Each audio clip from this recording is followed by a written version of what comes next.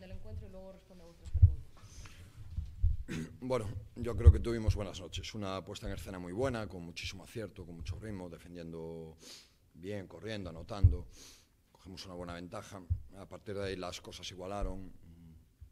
Estudiantes fue capaz de volver y el partido entró en una dinámica de, alternancias. Creo que quizás en momentos puntuales, en situaciones es que habíamos hablado mucho, temíamos mucho el acierto en el tiro de tres de estudiantes o el lanzamiento del tiro de tres, no estuvimos bien, en algunas y en otras, bueno, pues destacar el, acierto de los jugadores estudiantiles, que fue, fue muy grande, ¿no? con canastas de mucho mérito.